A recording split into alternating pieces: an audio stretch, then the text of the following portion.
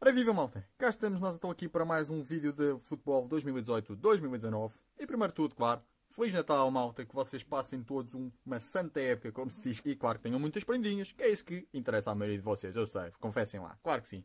Portanto, vamos então fazer a simulação do costume, já sabem, portanto, vamos aqui abrir saquetas do futebol 2018-2019. Neste momento vocês já estão a ver como é que está a classificação, aliás, vocês já estão a ver como é que está o quadro das simulações anteriores, até à 13ª jornada, e claro, agora sim, também já estão a ver a classificação do, na, na simulação e também na realidade. Portanto, como podem ver, muitas diferenças em alguns clubes, como é o caso do Benfica, noutros nem por isso. Portanto, vamos então fazer a abertura que lá está 5 saquetas, como eu estava a dizer, continuam a ser saquetas, claro, com últimas aquisições, que é isto que agora a malta quer, não é? Já não há raspadinhas nem nada disso, portanto, vamos então abrir destas saquetas, que é o que interessa, que têm os cromos novos, que penso eu que ainda muita gente ainda anda à procura deles. Vamos então fazer a abertura, já sabem as regras, cada cromo de jogador conta como um gol, cada cromo de guarda-redes defende um possível gol, cada cromo de emblema conta então para defender um possível gol, como o guarda-redes, mas também retira um gol já marcado da equipa adversária. Ou então, se ainda não tiver marcado, fica como um guarda-redes e defende um possível gol. Vamos então começar, malta.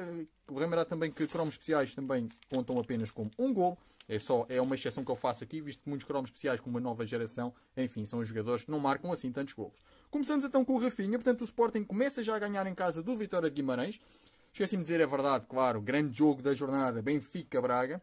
Portanto, temos agora aqui Mateus Pereira, bem, isto começa muito bem para o Sporting, dois gols seguidos do Sporting ao Vitória de Guimarães. Temos o Boato, o Boato do Rio Ave, Rio Ave, Rio Ave a marcar ao Porto, portanto isto aqui começa bem para o Sporting e mal para o Porto. E temos o emblema do Rio Ave, que isto começa mesmo mal para o Porto. O Porto se marcar um gol não vai contar, porque tem o emblema do Rio Ave a defender. Temos o João Camacho do Nacional a marcar frente aos Chaves e por fim do Portimonense, um jogador que já lá nem está, o Rafael Barbosa do uh, Portimonense a marcar ao Feirense.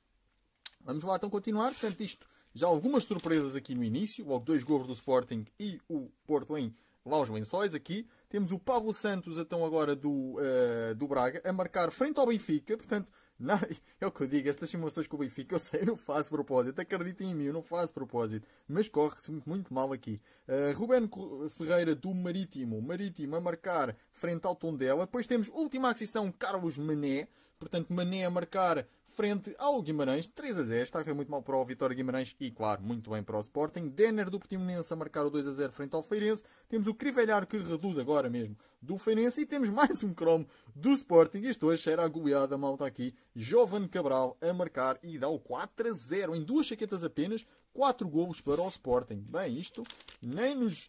Nunca pensaria, sinceramente. 5 a 0, vejam bem, Seturaram a marcar a última aquisição, até o Seturar marco aqui depois temos uh, o bis, uma substituição. Isto é os cromos que lá está. Eles dizem aqui para substituir. Já agora, uh, eu não gostava de focar o tabuleiro, mas já agora vamos focar só aqui. Portanto, eles dizem aqui para substituir pelo Nuno Reis uh, para colocar então aqui. O meu ideal, como eu digo sempre, é fazer então uma janelinha, colarem aqui um bocadinho de fita cola por cima, transparente, claro, que não se note e depois colarem por cima, só aqui do lado, para fazer uma janelinha. Fica, imaginem que este é o cromo original do Nuno Reis, fica tipo assim. É uma janelinha, estão a ver? É simples de fazer e lá está, ficam com os dois cromos, que é isso que a malta prefere. Pelo menos eu prefiro. Temos então o Dunkler, como, como estava a dizer então, que manda uma alta pinta. Eu sempre disse que este gajo manda mesmo uma bruta pinta, realmente. Uh, então do Setúbal marca frente ao Santa Clara. Depois temos o Penha do Tondela, Tondela que empata frente ao Marítimo. Temos o Lume a marcar uh, frente, uh, aliás, desculpem, Moreirense a marcar frente ao Boa Vista. Ah, é verdade, antes que me esqueça, o Lume também é aqui um cromo errado. Como podem ver, aqui está trocado o Senegal com o Dakar. Devia ser Dakar, Senegal. Aqui trocaram, enfim, a Panini também não reparou, mas também não é um erro por aí além. Depois temos Diogo Leite a dar, uh, a dar nada, porque cá está o, o emblema do Rio Ave em ação, portanto o Porto não marca mesmo. Quem marca sim, já agora colocar aqui, quem marca sim é o Ferreira do Benfica, que dá então o empate frente ao Braga. Vamos lá então. Ferreira aqui nas nossas simulações marca bastante, né? desculpem. Temos agora Jorge Fernandes do Tondela que marca frente ao Marítimo. Vitor Bruno do Feirense dá o empate frente ao Portimonense. Arango marca de novo para o Tondela, 3 a 1. Penha 4 a 1. Tondela de repente 3 golos seguidos. Depois temos o Fran Sérgio aqui do Braga que dá novamente a vantagem frente ao Benfica. E por fim Galeno, top aquisição, que dá o gol para o Rio Ave e frente ao Porto. Portanto, isto ainda por cima é contra a equipa uh, que está emprestada. Isto não pode acontecer, presumo eu, não é? Que ele está emprestado pelo Porto. Portanto, isto, o, Galeno nunca poderia marcar aqui. Mas lá está. Também o Mateus Pereira não podia marcar aqui pelo Sporting que marcou. Portanto, Averone do Moreirense 2 a 0 frente ao Boa Vista. Temos um guarda-redes Ricardo Ferreira do Portimonense que agora já não vai servir para nada, digo eu. Temos uma substituição, a Bobacar. Portanto, isto é uma substituição completamente estúpida, porque, como vocês sabem, a Bobacar está lesionado. E ainda por cima substitui o Soares, que, lá está, tem jogado. Por isso mesmo, é completamente ridícula esta, esta substituição que a Panini fez. Mas, claro, conta como um gol para o Porto e reduz para 2 a 1. Depois temos então o Chadas, que faz o 3 a 1 para o, para o Braga. Portanto, isto acabou mal para o Benfica. Ruben Miquel, 2 a 0 do Setúbal frente ao Santa Clara. O Santa Clara, ainda mesmo assim, acaba por reduzir 2 a 1 frente uh, ao Setúbal.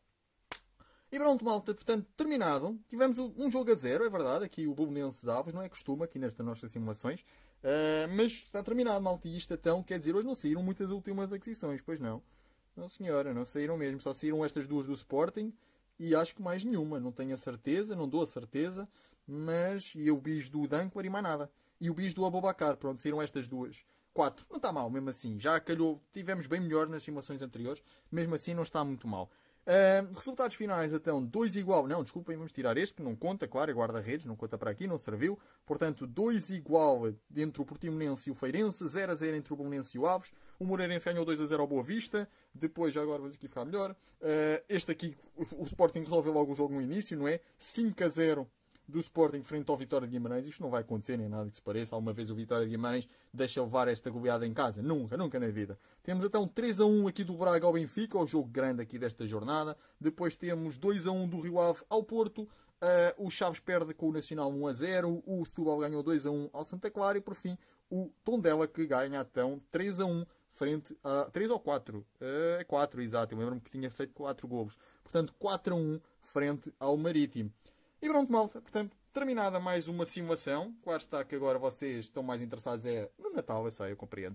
Uh, mas espero que tenham gostado na mesma, claro. Sim, já sabem, deixem o vosso gosto que é sempre muito, muito importante. Os vossos comentários também serão sempre bem-vindos. Subscrevam o canal se ainda não tiverem subscrito. Encontramos então em mais vídeos. Ok, malta? Fiquem bem e até à próxima. Tchau!